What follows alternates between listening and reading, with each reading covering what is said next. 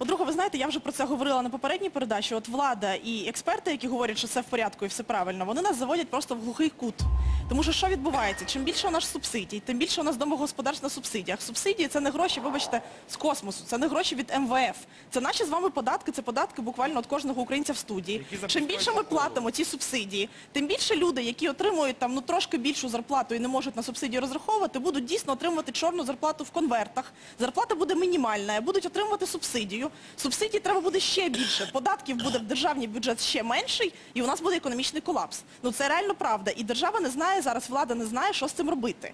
Вибачте, замість того, щоб взяти один рік, два роки, зробити енергоефективність, встановити лічильники, як це було в інших країнах, не підвищувати до 100%, як це зробив Гройсман, а підвищувати принаймні, ну принаймні до 75% і зробити рік енергоефективності, щоб люди менше споживали, ви цього не робите і ви навіть не пропонуєте це робити. Говорити про те, що Львов, Одеса або Київ можуть щось субсидувати самостійно, ну, по-перше, це юридичний нігілізм для мене, я не можу уявити, як це буде відбуватися. А по-друге, вибачте, у нас є сотні, десятки і тисячі сел, райцентрів, людей, ну все ж таки люди більш заможні, якраз живуть у Львові, можливо, Одесі чи Києві. А що робити всім іншим, там 30 мільйонам громадян України? Ви про це взагалі говорите, що їм робити?